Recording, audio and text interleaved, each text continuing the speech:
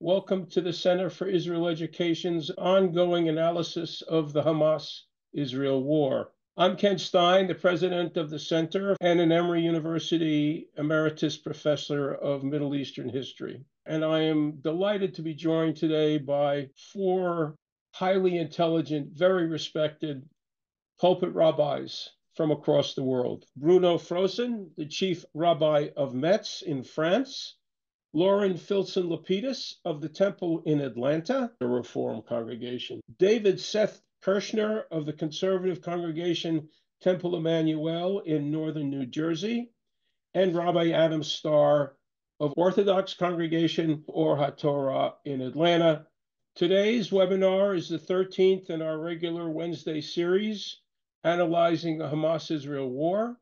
We're going to try and get the view from the pulpit as we seek to learn from rabbis in the diaspora what this war's impact has been on them and on their respective communities. A word about the center. Last year, we had 1.8 million users to the website, including those who read Spanish and Hebrew. You'll find crisp analyses as we collate the best materials and create annotated bibliographies. And I will say that just this morning, I updated our annotated bibliography on the war. So you'll be able to get the best contemporary readings we've been able to find in English on the website for you to look at at your leisure.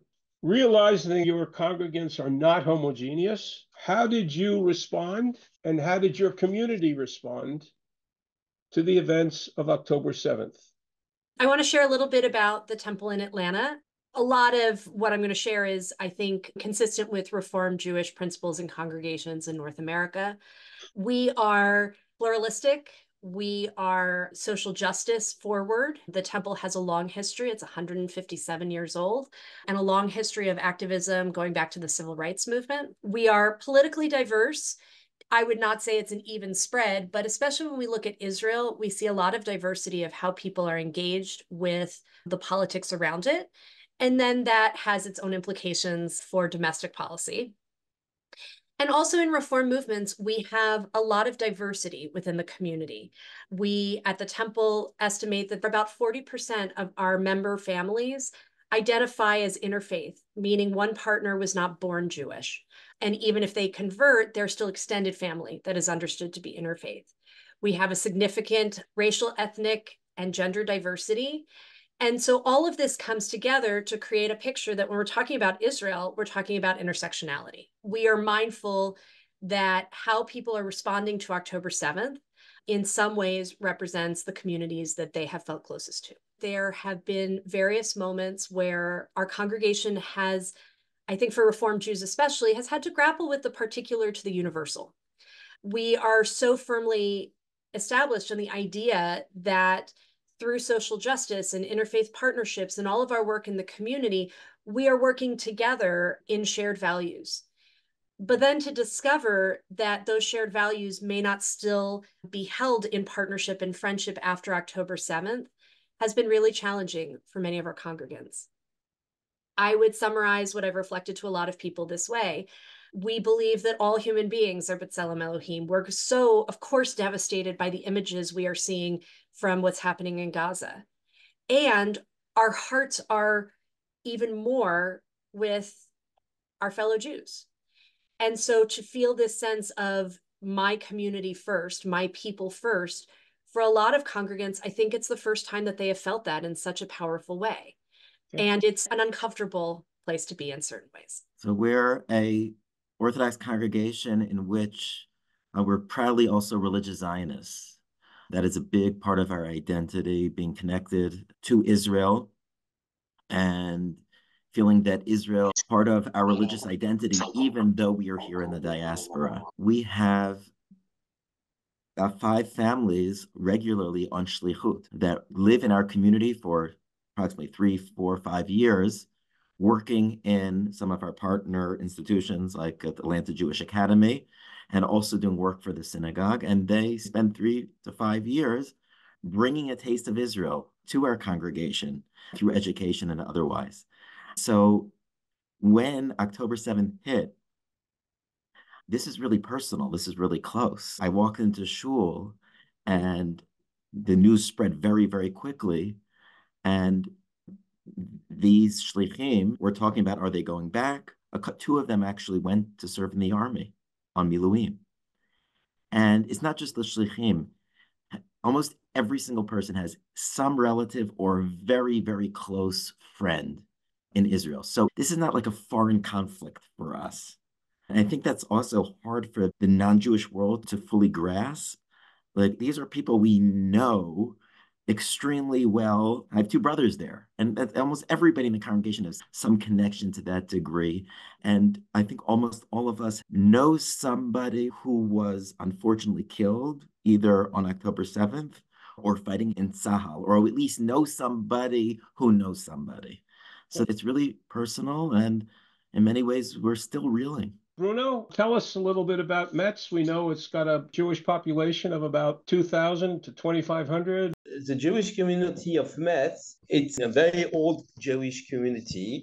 We have uh, Jews here from uh, the Middle Age or Roman times. We have very old synagogue built in 1850. So it's a very old community with uh, different kind of Jews, local Jews from Germany, from France, Jews from Eastern Europe, and Sephardic Jews who come from Algeria. Metz, it's not an exception. I mean, all the Jewish community in France are very Zionist, pro-Israeli. A lot of people have family in Israel. Myself, I have four children living in Israel. So we are also very, very close to Israel. And what's what's happening in France after the 7th October? First of all, we have reaction from uh, the non-Jews we are very close to the Christian people, but we have also reaction with anti-Semitism coming mostly from the Muslim community, which is very, very huge and large all over France and also in Metz. So that's the situation now. We have not a lot of manifestation of anti-Semitism in our city, really, but we have a lot of manifestation in uh, bigger city like Paris or Lyon or Marseille. People now, we are praying every day for the soldier in Israel. We have made a lot of ceremonies with the officials uh, from the city and with uh, the elected deputies to support Israel, and we try to do the best. People in your community after October 7th, are they as keen to stay in Metz as they were before? we hear the stories of Parisian Jews or Jews elsewhere in France thinking that they should seriously consider going on Aliyah. Yeah.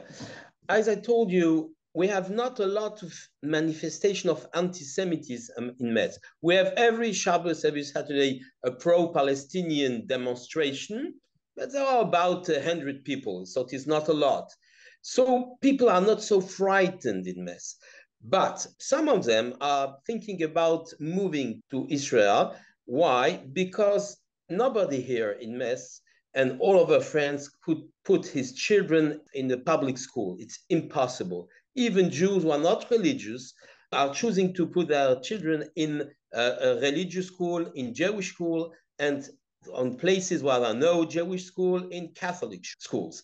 So this is one of the reasons uh, the people are thinking about leaving the city. Not a lot yet, not a lot yet, I, I have to say, but some people are saying that they have no future for the youth in France, for the Jewish youth in France. So our place in is in Eretz Israel, it's in Israel. And well, myself, I've sent my, my four children there, so I cannot say anything against this. Another point which seems very, very important, it's that the, the city of Metz, we have got a lot of support from the Christian people. We have a lot of support from the politics and from the Christian peoples. And we have also a very strange phenomena here in France, all over France, even in Metz. The, left politicians, like Socialist Party, uh, which even was to, the, to defend the, the minority, they are really against Israel. So we have very bad relationship with them. And the right party, including the extreme right, the party of Madame Le Pen, his father was anti-Semite, Jean-Marie Le Pen. He was denying Shoah and so on. But the Deutsche, which is now at the head of this extreme right party, which the polls show will be the first French party in the next uh, European elections, they are very pro-Israeli. So we are a little bit disappointed because the things are moving, and some Jews uh, are thinking about uh, why not voting for the extreme right. I am against this, but this is the situation because they are becoming very pro-Israeli. So that's the situation in Metz. One point more I, I will add, and I will finish. We have to know that in front of our synagogue and our school, there is an army morning and evening every day, Uh, uh, including Shabbos when there is a service, that are coming to keep us.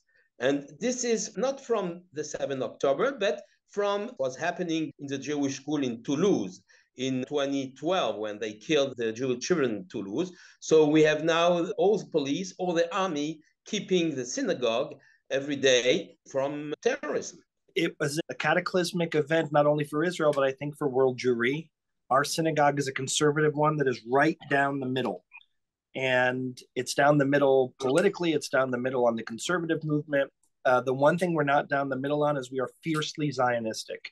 70 to 80% of our speakers are Zionists in nature, meaning what they're coming to talk about is related to Israel, whether they're from Israel or supportive of Israel or talking about or teaching about Israel. The response has ironically yielded more membership for our temple. People who felt disconnected or had left our synagogue in previous years have come back. Anti Semitism has this really strange effect in that when it increases, it strengthens the Jewish world. And when it dissipates, it weakens us. And that's a strange paradox for us. And our congregation, we responded in a host of ways. We bought about 4,000 lawn signs and blanketed our communal area with every store and home that says we stand with Israel with a large Jewish star on it. We've had six different speakers come from Israel Eli Beer, Nachman Shai, Jonathan Greenblatt, who's not from Israel, but talking about anti Semitism. And the list goes on. Survivors of October 7th, those who are families of hostages, come to our synagogue. This Saturday night, I'm leaving on my fourth mission to Israel, mainly with members of our community and congregation. We've done a very focused fundraising campaign just for Israel with no overhead, where we raised $2 million in three months. Our community has hosted families that have been displaced from the North and the South, both short term and long term, and we've helped with the funding for them in day schools and at JCC events. And everything as little as having our religious school kids make cards for soldiers who've been injured. And it has a tremendous effect as someone who stands in the hospital every other week these days with wounded soldiers, seeing their rooms plastered with kids from North Carolina and kids from Chicago and kids from Denver making signs saying, We love you, it actually makes a tremendous impact. Our area in Bergen County has one of the higher saturation rates of Israelis. And as a result of that, it has really touched a very sensitive nerve for our community in general. And these are just some of the areas where we have tried to be responsive as a synagogue and a community. In fact, I was remarking that I'm delivering the sermon this week, and it's probably the first time that my sermon is not focused on Israel in three months. It's going to be about the power of words. Do your respective communities understand not only the horrific nature of what transpired on October 7th, the Israeli reaction to this has been not just one of how many people were killed or how horrendous it was, but there's a sense of this was an existential event that threatened my very existence and the existence of the state that I thought I would have for the rest of my life. We just celebrated a 75th anniversary. And this really punctured the balloon of Israeli consciousness that they were secure. Do your communities get that? Do they get the difference between seeing this just as a picture or just as numbers, but as a sense of this cuts to my very core of my identity? Absolutely. I mean, there is so much fear and anxiety and concern. Congregants are, are really, really struggling. It, it, it has affected them to an emotional core. And I think it's also in light of the anti Semitism that's going on around this, people are really questioning their place here in America. It's interesting. I, I would say many of my congregants are drawn more to Israel, even though that's where the attack took place, as feel like that's our only true and safe home. So I think people have been deeply, profoundly affected. I think, like all of us, and the sense of comfort and security that we had, both as Jews in America and as it relates to the state of Israel, has been shattered in a very significant way. There is no question in my mind that October 7th has created the existential angst that you're talking about for our entire community. I will say I have never, in my 16 years here as a rabbi, felt so much the responsibility to help care for the grief and the anguish and the fear that our congregants are feeling. And it's taken a variety of modes. We are a Zionist congregation. I think that sometimes there are perceptions about Reform Jewish communities and their commitment. I would say that the temple lays those to rest pretty quickly. The way that people have shown up for one another, the way they have encouraged and called out people, our neighbors who have not, necessarily been alongside us has been profound. People are eager to help. We've had to postpone our larger family and B'nai Mitzvah and teen trips. And there were a lot of people who were looking forward to their first time in Israel and are now wondering when they'll go and what that will look like. I started by two months ago a series of conversations about anti Semitism in Israel, just to provide a space for people to come and share what they were thinking and feeling. And anti Semitism was on our radar before October 7th. But what I'm hearing now from all ages is this fear of, I'm not sure I'm safe here in America. I never thought I would see 1930s, 1939 repeated in my lifetime. We've done Zooms with our college kids. The stories that they tell, they're as bad as you hear. I work a lot with interfaith families. And so we can imagine how challenging that is for people who are trying to explain to grandparents that they don't regret raising their kids as Jews, even though that makes them less safe. I will say, though, our conversion class is larger than ever. I think that it's leading people to ask who their friends are. And we have been both the voice of comfort and also the voice of outrage.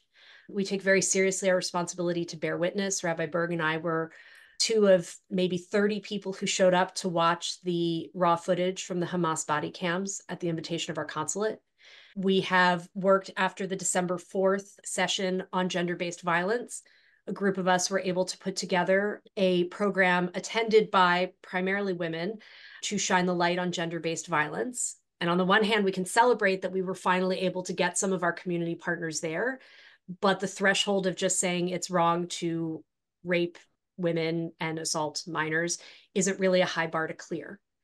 So I think that what we end up with is in our community a lot of anger and uncertainty and fear and also a deep desire for community and support. And I'm proud of how people are responding. And it is hard to hear week after week how afraid and rattled people are. I would sum the theme of those conversations is I don't know who my friends are anymore. And that is extremely disconcerting for anyone, especially a congregation that has people who are assimilated in all manner of schools and workplaces and college campuses and such. We had just a meeting three weeks ago from the Council of European rabbis in München, in Germany, and uh, everybody was speaking about his experience in our country, our city. Everywhere, the Jews were threatened by the possibility to have the disparation of the state of Israel. It was really a great threat. Also, here among the Jews in France. So I saw great solidarity from all the Jews here in France. Everyone was gathering in, in different ceremonies, manifestation, and also, we thought we were a little bit alone. I mean, among the non Jewish population, we have some support, of course, but we have got some troubles in the inter religious relationships, especially with the Muslims. No words at all, no compassion after the 7th of October. And a few days after, when the war began in Gaza, of course, all the Muslims were shouting and complaining and saying that were complete solidarity with the Palestinians. So we have uh, taken conscience that maybe their interreligious relations that was very good before, especially with the Muslims, was only, I mean, superficial. So this is one thing. With a Christian, it's very different. We have uh, very good friends among the Catholic Church and also the Reformed Church, Protestant Church, but they want to have some kind of okay, what was happening 7 October was awful, but well, the Palestinians are suffering, so on, so on. So they want to keep some equilibrium between the Israeli and the others. Last thing, we have to know that anti-Semitism is not a new thing in France. So I don't know what is with the United States. I think in the United States, it's very new for you. But for us, it's uh, quite a long, long story. I will not uh, speak about what was happening during the war, but it's a long story. And when we have the terrorism in Toulouse in 1220 and then Hyper Cacher in Paris, so the Jews are used to this, to this kind of anti-Semitism. What is changing is the, the traditional anti-Semitism from the extreme right is disappearing. And now we have anti-Semitism coming from the Muslims, not all the Muslims, I'm not racist and anti-Muslim, but it's a fact. A lot of Muslims, and in the mosques, they're speaking against Israel, and sometimes uh, the speech are even border, say borderline and also from the left party. Like the same situation you have in the United Kingdom with the Labour Party, they change a little bit, but we have the same situation with uh, the leader of the UK Labour Party, Corbyn. There is a new one, which is better, but we have the same situation. So all the Jews have to know that what is anti-Semitism just the anti-Semitism, which was coming from the right, now is coming from the left, and we are in the middle. So uh, that is the situation of the Jews here. Just one point more, I can observe that a lot of Jews are coming to shul, even not religious people, but people want to ask questions. They have problems. They want to do something for Israel, to do something for the Jewish people. And that is really a good thing you, see people coming back. I haven't seen them for 20 years or 30 years. Even people I don't know with them who are coming back to be I'm Jewish or even not Jewish, but the Jewish origin, and I want to do something for Israel. I think we feel an existential impact and we also feel an existential confusion. I would argue from 50,000 feet that there were five events that shaped the Jewish people more than any other the Exodus from Egypt, 1492, the Shoah, the foundation of the state of Israel, and I would argue October 7th. And the main reason I would argue October 7th is to echo something Rabbi Starr said, which is it was a shattering of all that we believed. Every premonition was shattered into pieces, and we are walking on broken glass right now. I think the confusion comes from two places. Number one is we are a people, we the Jewish people in the diaspora, and in particular in America, are people that wield access, we wield influence, and we wield connectivity. It is us, the Jewish people, that for all intents and purposes, were the drivers and having Liz Magill leaving uh, Penn and forcing and pushing the question on Claudine Gay. But at the same time, with that access, with that influence, with that connectivity, we are categorizing ourselves as others, which inherently puts us in a category where we don't have any of those things, right? How can you be othered but still wield enough power to make that level of change? The Secretary of State is an identified Jew. So is the Secretary of Homeland Security. And these are realities for us. I think the second part of confusion for people that lends itself to the shattering is that the United States response to the shooting in Pittsburgh was everything we want it to be we had empathy from the greater community. Love him or hate him, the president of the United States at the time came and offered condolences. The Pittsburgh Steelers came to the Rosenthal boys' funeral and carried their caskets and put epitaphs on their cleats for them. It was a moment of incredible unity. The Pittsburgh Gazette wrote in Hebrew letters Yitgadal V'Yitkadash on the cover of their Friday paper, which won them a Pulitzer. So this moment of connectivity and unity after Pittsburgh, nothing of it was echoed. Nothing of it was mirrored after October 7th.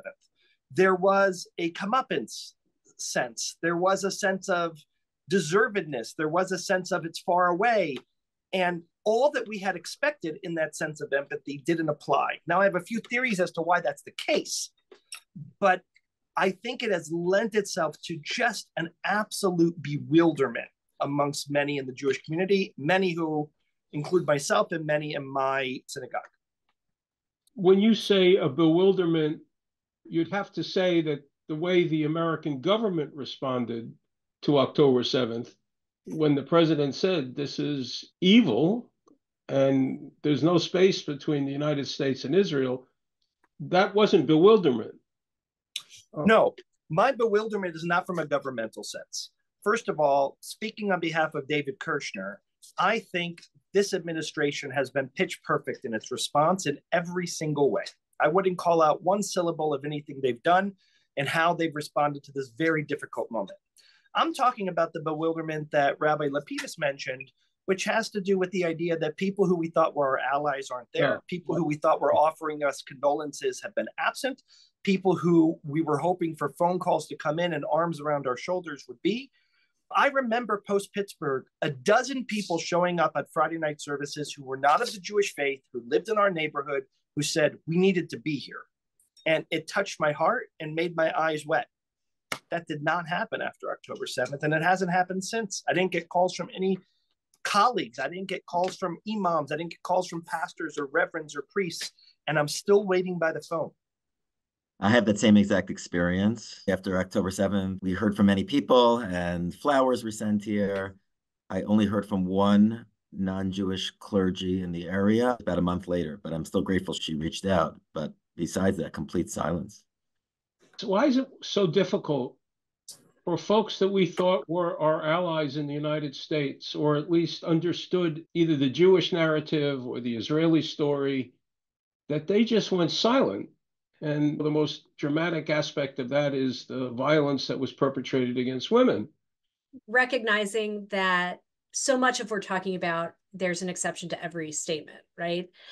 Like my colleagues, I did not hear from many people. I think we're discovering friendships versus collegial relationships. And I think this sense that we were all animated by the same values. One congregant said, I thought we shared the same values as our interfaith partners. And yet it doesn't seem to apply. And I think that I've had people who say, even within our community, I'm pro Palestinian. And the answer is, okay, well, most of us are, all of us are. We've been in favor of a two state solution for a really long time. Yet we're not pro Hamas. We are not pro Palestinians who are helping to facilitate hostage taking. It has turned into a binary that is false. I work a lot with teenagers. What they are confronted with is this sense that the situation between Israelis and Palestinians is very simple. Israel is the oppressor, the Palestinians are the oppressed. Israel has agency and power. The Palestinians have no agency and power. Therefore, Israel is bad and Zionism is bad. And you cannot support Israel if you say that you are in favor of racial justice, equal rights, et cetera, et cetera. And I think that a lot of people got caught in that or thought that it didn't apply to them. And I can't speak for all of the partnerships I, I've heard from some people that they don't want to be seen supporting Netanyahu. I've heard this from some people outside the community. It's like, I'm not going to go say much about that. We had 37 weeks of protests against the judicial reform and all of that. I think you can guess how I see pluralism and a variety of things. But this isn't about Netanyahu. I think that people are reducing it to these talking points. After I went and saw this body cam footage, we look around the room, and it's mostly Jews. And a few politicians, a few reporters, no other clergy. And it wasn't just hard to look at 42 minutes and realize it's only 10% of the people who were murdered that day that were shown. And it wasn't just that there were only 30 people in the room, but it was then to find out from our consul general that hundreds had been invited.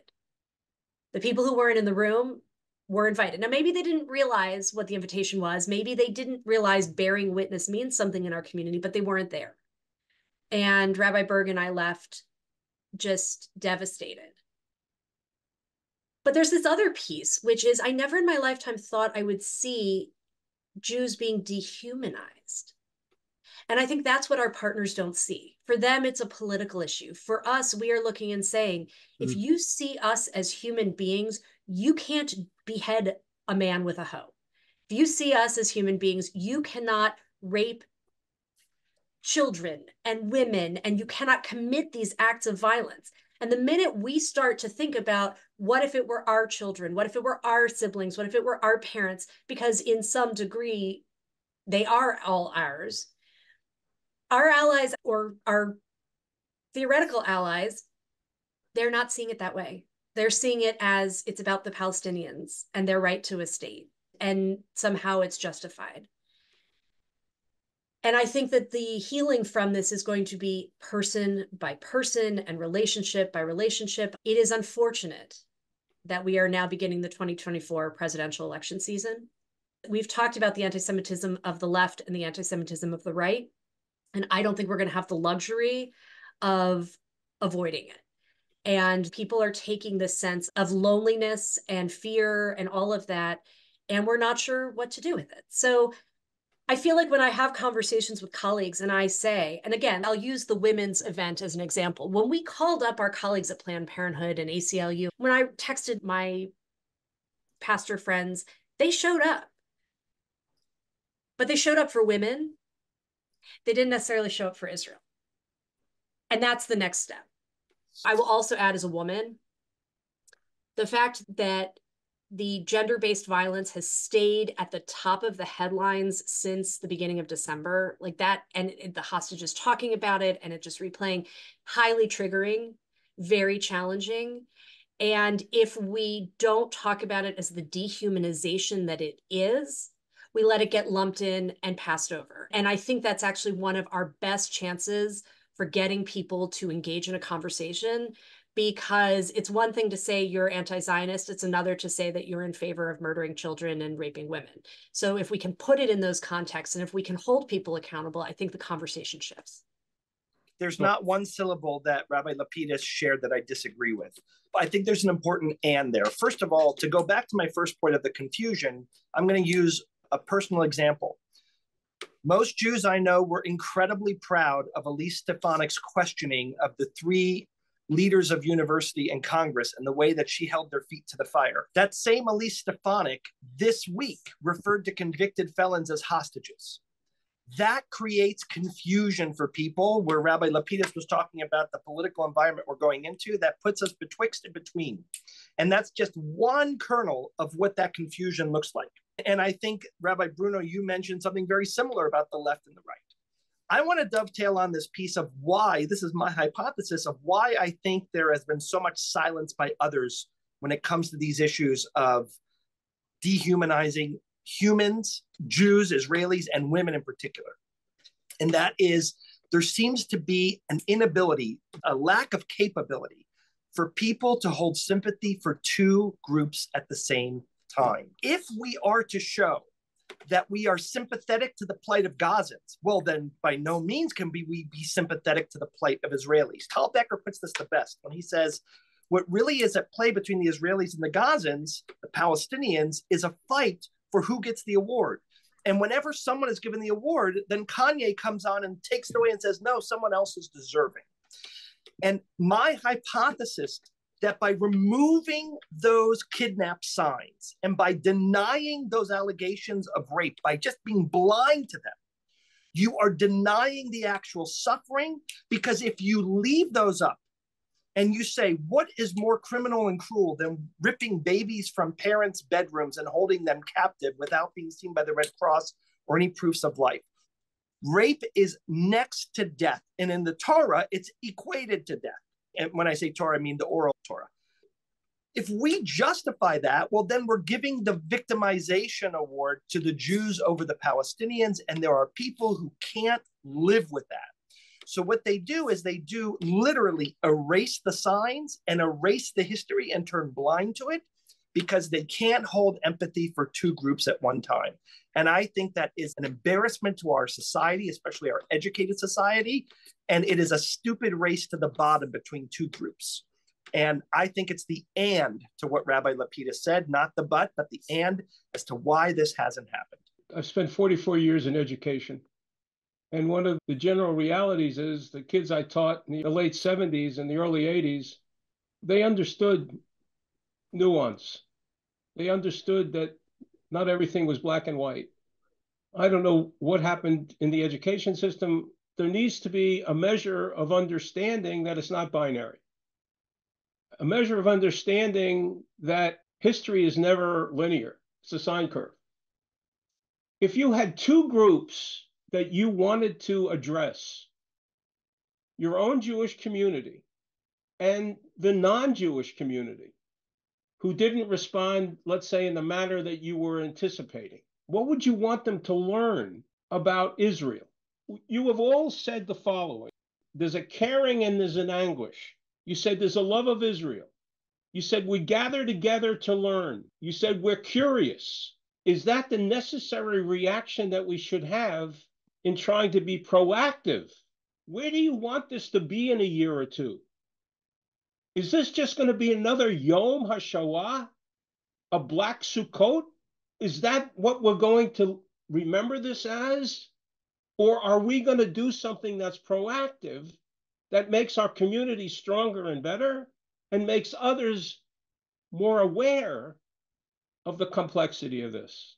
One of our first services after October 7th, my colleague Dov Wilker, our regional director of AJC Atlanta, came and gave a sermon, and it was the songs our children will sing. What will they be singing about this time? And I ask myself that a lot. The power of taking people to Israel can never be overstated. Through the generosity of Leah and Richard Davis, we have a trip for interfaith couples. They are proud Zionists after going. They were skeptical and then they went and they saw it and they love it and they are engaging. And so we cannot give up on getting our teens and our adults to Israel. I think that we're all going to have to reacquaint ourselves with Israel to recognize that we are in an existential crisis.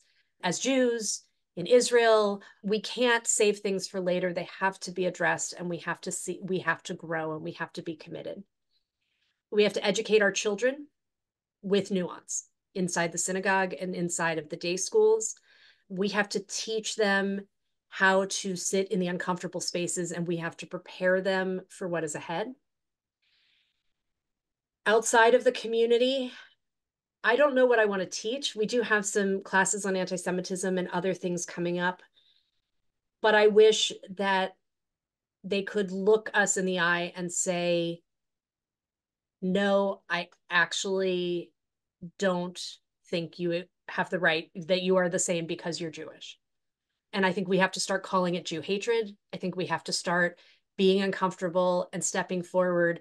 And it will be hard, I think, for our community to really demand the accountability of our partners, but I think we can do it. First, inside the community, we have now a difficulty with people with emunah, with faith, why God lets such a thing. It's the same question. We, we forgot this question uh, from the Shoah. It's a, quite a long time ago. So the young people, uh, for instance, my daughter, which is 14 years old, all the children I'm teaching in our Jewish school ask the same question. The Shoah is, is history for them. Okay, so I'm not touching them directly. Now the question is coming back. Where is God? So the first question is this one, and we have to manage it. And simple answers couldn't be answers. It's impossible. Like answers that the Jewish people is make mistakes, averus, where they have done something against the Torah. We cannot say such uh, stupid uh, answers. So we have to manage with this, to study, to manage with this. This is the first thing. Second thing, we don't have in France usually Jews uh, which are inside the community, which are pro-Palestinians. This is very, very rare. And if there are, they are really far, far away from the Jewish community. We have not the same problem you have in the United States with Jewish students in university shouting against Israel. So this is not a problem. But outside the community, I think that we have a major purpose to get more and more politicians, more and more French population to our side. How? By telling just the history the history of Israel, the history of the state of Israel, of the 1947 UN resolution to explain them. We have some allies. The mayor of the city of Metz has put on the front of the city hall the pictures of the hostages. There are not a lot of cities in France who did that, but we have here some allies. So we have to go further. And for instance, we have also some members of the parliament who went to the kibbutzim in Israel to see the real situation. I go myself to a, a place where students, non-Jewish students, in order to explain just the history. We have to do it because they are revising the history in another way, saying that uh, Jews have no right on the state on the land of Israel. They come like uh, the French or the British come in Africa. So we have to explain the history, why the Jews are living there. And I think that we can touch a lot of people. Now with the Muslims, the situation there is very difficult. I have one imam, one imam, one imam. There's a lot of imam here in the area, but one imam write me some words. We are with you. That's it it was a lot of things for him. It was very, really very difficult to send him. And he said to me, okay, don't publish this. I send you, but don't publish it. He's an imam from Morocco. I can explain why, because Morocco is something different with the others imam. So I think we'll not have, uh, in, in short time, really discussion with the Muslims. It will be very, very difficult. But I have a hope. We have a poll now in France saying that the majority of the French people understand the action of the state of Israel. So this gives me some hope, and maybe we go further. I think one of the core responses of those of us in the diaspora, and even though our communities are struggling, as we've described in great detail, is to remember whatever we're going through here pales in comparison to what our brothers and sisters in Israel are going through. I have friends who have children in Gaza. That is something that is almost unimaginable for us. And we have an obligation to let the people of Israel know they are not alone, that we in the diaspora are with them, are thinking about them, because their fight is really our fight. The difference is we're protected, and they are literally sending their daughters and sons in harm's way and sometimes paying the ultimate sacrifice. And they need to hear from us. They need to know from us. We support them. We're there for them. We grieve with them. We're going to visit them. I'm going to, on my second trip in a few weeks, and we're going to raise money for them. Whatever we can, they need to hear from us. They're not alone. I'm starting to hear more and more from friends and colleagues there. In the beginning, yes, they heard a lot from us. But as the losses continue to grow, the pain is, is just overwhelming. And we really need to remember they're the center. We are not even amongst our pain within our own congregations. That's point number one. Number two, I think we always have to remember Judaism does not exist to fight anti Semitism. Judaism exists because we have a wonderful, glorious tradition. And we need to take the opportunity. Maybe what has occurred has woken some Jews up in terms of what it means to be Jewish Jewish is not to be oppressed, is not to, to fate those who hate us. That's unfor- unfortunate part of our history. But to take this opportunity to say, why be Jewish? And what are the values and the ethics that our tradition, our wisdom, our rituals teach? Because I think that can have a ripple effect onto the world of who we are, who we stand for, and what we represent when our young people are actually able to comfortably say who they are beyond just the fact that I know I'm Jewish, but I actually have no idea what that actually means. I don't know how to convince other people. I don't know. I, I that's beyond my scope.